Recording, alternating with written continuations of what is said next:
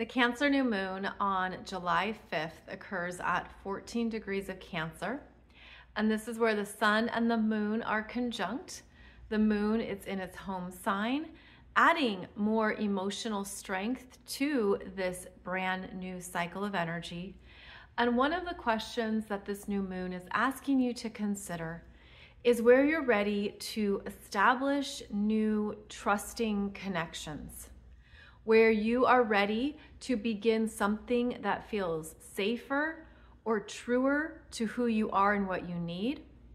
This new moon is making a lovely trine to Saturn retrograde in Pisces at 19 degrees. And this brings in a stabilizing force around something that you're understanding is true for you and you feel it because of the strong water element here, there's a sense of really feeling something and also allowing that to be enough.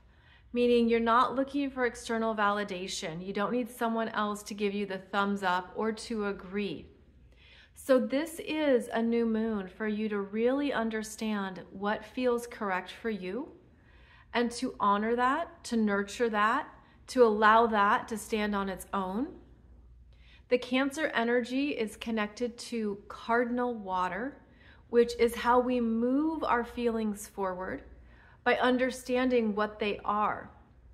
And so there could be something here that you're just having clarity around.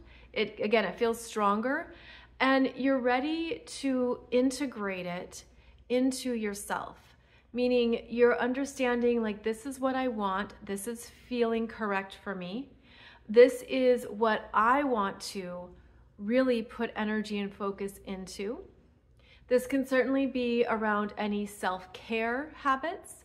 This could be something in your home, which is the energy that Cancer rules, our home base, family matters, family structures, uh, what we do with others in our immediate tribe. Cancer is the energy of having something manageable as well that we can cope with, that we can work with. And all of this could show you where you're ready to use that cardinal influence of directing and initiating energy in a new direction. So this is a beautiful full moon to look at what you need, how to establish a healthy, strong connection to it, and allow that to be the foundation where you grow something else. You grow the energy forward. So I hope this helps you understand more of how to work with the Cancer New Moon.